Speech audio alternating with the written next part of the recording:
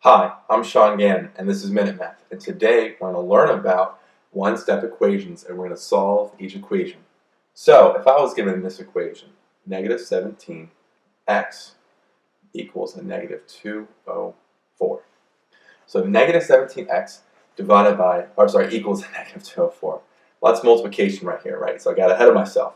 Opposite multiplication is division, so I'm going to divide both sides by negative 17. On the left-hand side, it cancels out, so we're left with just x, right? The negative 17's cancel. And what's nice is the two negatives here on the right instantly will cancel out to positive, right? Negative divided by a negative is a positive. Well, two 204, hmm. Can I break that down maybe into something a little easier to see, to, to uh, I don't know, like what numbers go into it? Well, let's think about it here, okay? 204. Let's go break it down to see if I can get something with a 17 and it might cancel out. 17 is prime, so I can't break that one down. Well, 204, simple as just 2 and 102. 102 is 2 and, what is that, 51? 51, oh.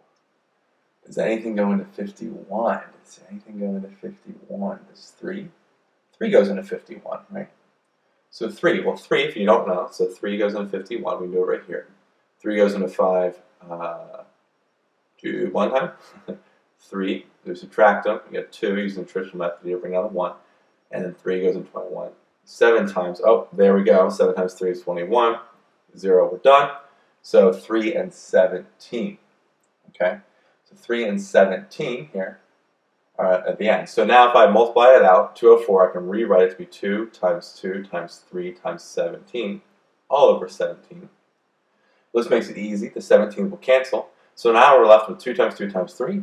2 times 2 is 4, times 3 is 12. And so x equals 12 is our final answer. So let's recap. We start with negative 17, x equals 204. I or negative 204. I divided a negative 17 on both sides that was the opposite multiplication. And what we have left here on the on the left side is just x. The negative 17s cancel. On the right, I knew that two negatives, a negative divided by negative is a positive, so I wrote that there. I saw that 17, I didn't really know how 17 went into uh, 20 off the top of my head. So the way I kind of thought about it, I was like, okay, we'll kind of break down, uh, I'm sorry, uh, 17 and 204. So I said, okay, how can I break down 204? I know 2 went into 204, so I have 2 and 102. 2 goes into 102 because it's also even. So that was 51. And then I said, okay, well, 51. I knew that uh, 3 uh, went into 51. And so I said, okay, how can I do that? Uh, I don't know what, how many times though. And so 3 goes into 51, 3 and 5, uh, 3 and 5, one time 3 here. And then 1, uh, so I subtract, we get 2. Bring down the 1, 3 goes into 21 7 times, we have 21 and they cancel. And so now we're left with 2 times 2 times 3 times 17 over 17. The 17s cancel. Pretty easy, so 2 times 2 times 3 came out to be 12. Now, you could have done long division for, at this point here. and It might have been easier, to be honest, to do that. But you can see how there's many ways to, to solve this problem here. But uh, 17 and 20, 204 shouldn't be too hard of a long division problem. So anyway, our final answer here is x equals